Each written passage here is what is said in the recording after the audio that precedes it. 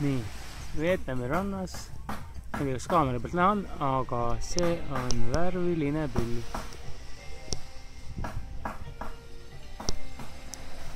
müstika. ja niisugune rand